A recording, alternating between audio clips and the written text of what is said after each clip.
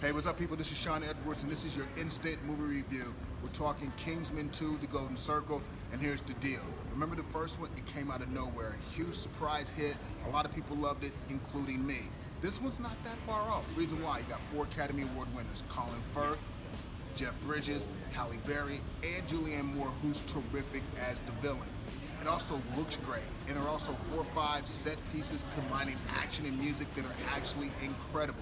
Now, I will admit, the weakest part of the movie is the story, so I gotta knock it down a notch or two. Well, maybe just a notch, because I'm gonna go four out of five for Kingsman 2, The Golden Circle. I actually liked it. Like I said, not that far off from the original. This is Sean Edwards and your instant movie review.